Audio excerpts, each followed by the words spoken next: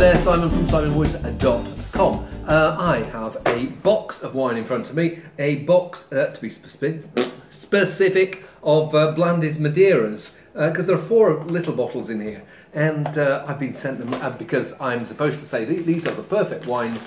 A little bit of bump in there, Madeira for dad.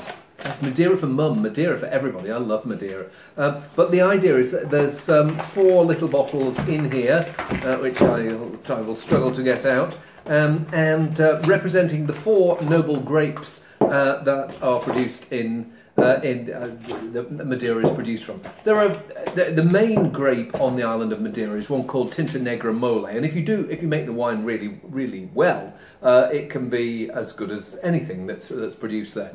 But um, uh, the traditionally, I suppose, the top end Madeiras have been produced from uh, these four grape varieties, and um, so I've got Sercial, uh, Verdelho, Boal, and Malmsey, and um, that is in ascending order of richness. So this is the drier end, this is the sweeter end.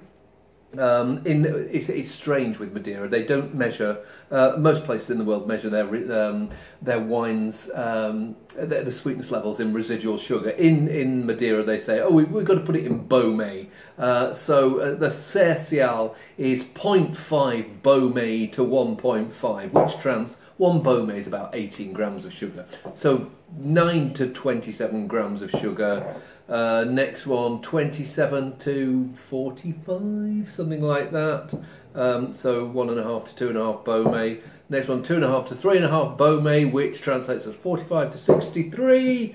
And uh, final one, 63, 3.5 Baumé, up to 6.5 Baumé, um, which is 117. Um, that's for all you statistical bores there. Never mind that. Let's get on to the wines. Actually, why, why do they do them? Um, uh, why are these wines in different levels of sweetness? After all, these are just great varieties. Why don't they just make them um, uh, all to the same sweetness levels and, then have different styles of wine?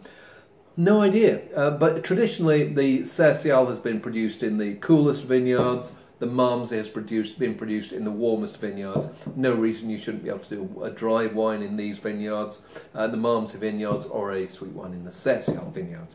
Enough waffle. Let's get on to um, the Sercial. Uh, so these these are all. Um, uh, it says ten years old. Then they were in 2018 here. These are not. Um, uh, 2008 vintage. They have been they're wines that have been blended to taste like they're on average 10 years old. So um, so yeah, these these four little 20 centilitre bottles, uh, all of them 19% alcohol. Yeah, all of them 19% alcohol. So let's give the Sercial a whirl.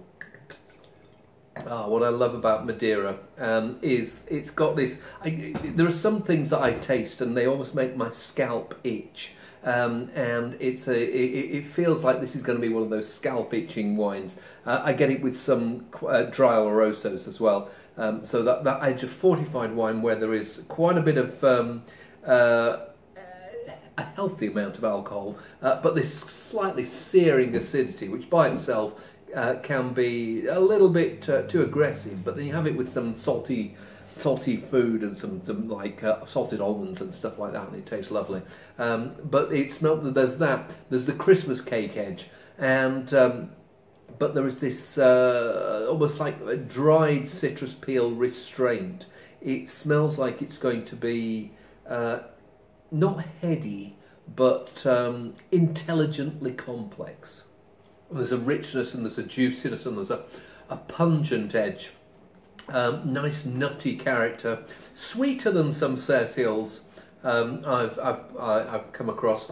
It's quite a range from 0.5 Baumé, 9 grams of sugar, to 1.5 Baumé, 27 grams of sugar, so three times the amount of sugar is possible in the sweetest versions of Sercial to, to the driers. Not sure what they've got here, but what it has got is it's got that, um, uh, despite that edge of sweetness that is there, there is always this fresh, vibrant, zesty, um, yeah, pointy acidity that, that keeps everything fresh, keeps everything moving, and um, yeah, keeps your mouth entertained. Uh, the sort of thing, yeah, upmarket crisps. Grab, grab a big bag of those and uh, uh, give them to your dad or your mum or your whoever, or your sister or your wife or your husband or your significant other, and uh, I think they'd have a rather good time with that. Okay, let's put the little cap back on on there. I will revisit that one later on. Uh, in the meantime, I'll uh, try the Verdelho. So I don't, you can probably see from the colour, I don't know what it's like against my British Racing Green top, but um, uh, it's it's a deeper, uh, darker colour. Some of the Sercials I've, I've come across have been uh, quite a bit paler than that one. That that would that I think is going to be pale, the palest of the quartet. Here, a bit darker in colour, uh, a bit more richer, raisiny, more fruit cakey, but still with this pungent freshness.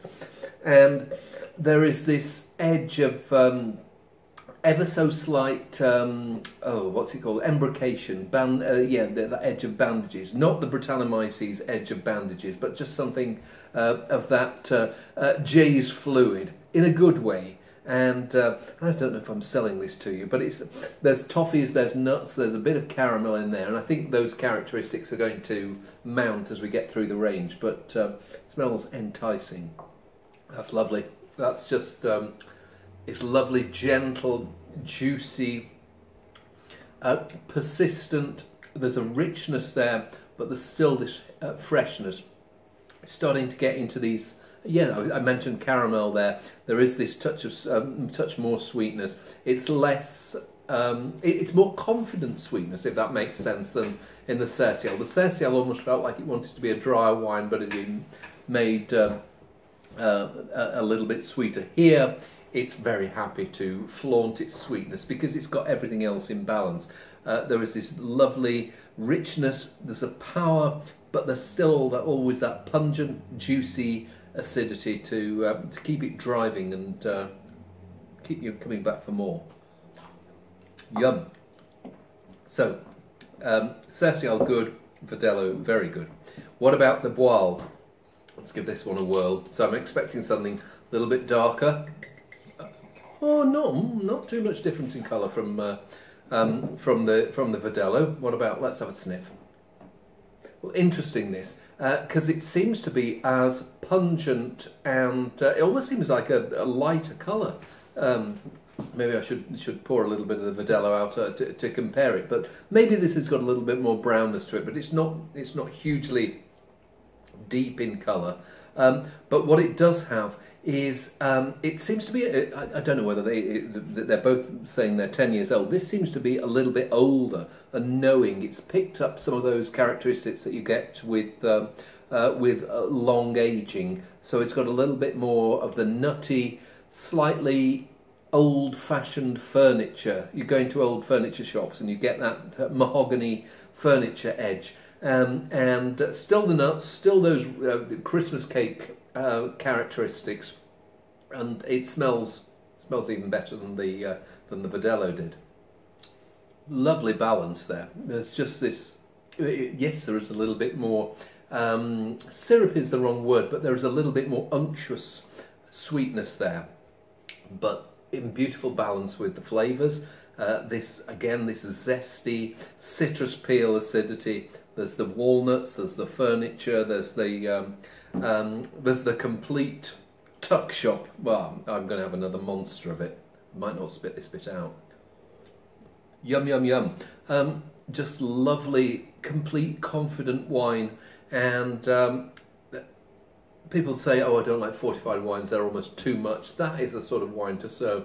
Um, and you can serve it slightly chilled. There's no tannins or anything there that uh, need to sort themselves out. It's not going to be diminished by serving um, uh, serving slightly chilled. Don't over chill it because you'd miss out on those lovely, uh, lovely fragrant edges that are coming through.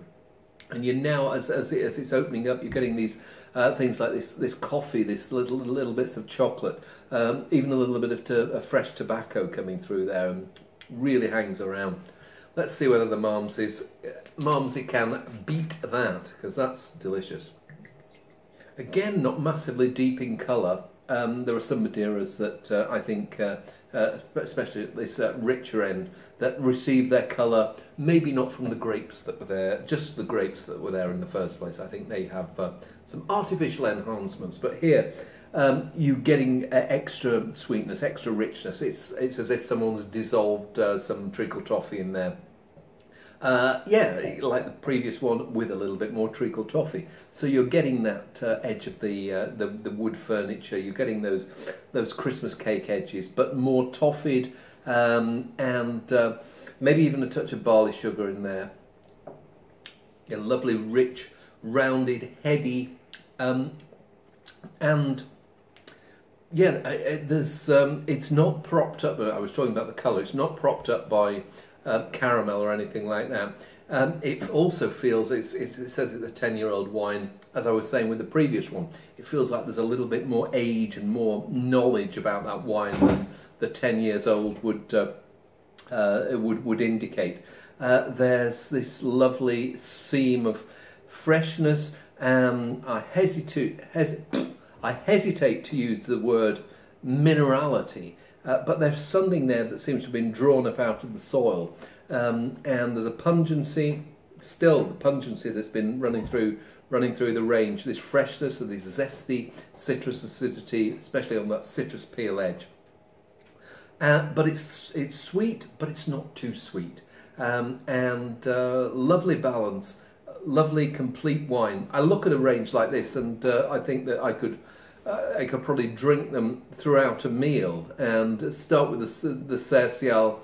Um, actually, I'd, I'd, probably go for maybe the Boal, uh, sorry, the, the Verdelho as a, uh, amuse-bouche. Uh, then have the Sercial with a, a, a, light first course and uh, then move on to um, uh, the Boal. I think I, have I've had some uh, wines like this with um, steak in slightly sweet, fruity sauces and they go beautifully and then finish off with the Malmsey and some some uh, uh, some good cheddar or some uh, one of those old hard cheeses, old old Gouda, old cheddar, old Parmesan, and uh, you happily drink Madeira all the way through the course of the meal. But um, I, to be honest, I'd happily drink good Madeira uh, with with most meals. But um, I'm prejudiced. But uh, hopefully that hasn't come across here. But um, anyway, if you've got any fathers or oh, I don't know how many fathers you've got, but if you've got any significant people in your life who deserve this little four pack, it's um, it's a really nice present for them, and um,